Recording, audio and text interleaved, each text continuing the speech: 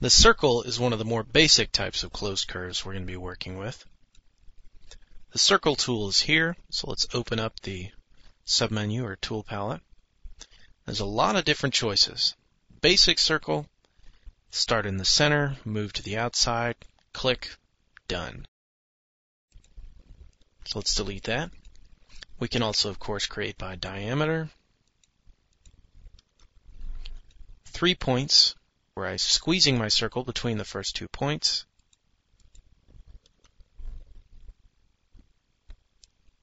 Around curve. For that, we're going to need a curve. Once I click the Around Curve tool, my cursor attempts to lock to the curve. Choose diameter. And there we have it. And then we have these others. We have tangent, tangent to radius, tangent to three curves, deformable, vertical, diameter, or vertical to C-plane.